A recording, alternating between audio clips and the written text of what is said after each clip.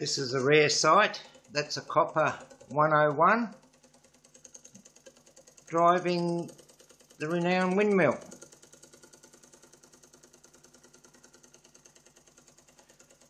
That's its um, for the windmill. That's the brass one. Here we are. Two cousins steaming together a, co a copper 101 and a brass 101 but this one's hooked up to the windmill the Renown windmill. But there they are going beautifully. Two cousins steaming together.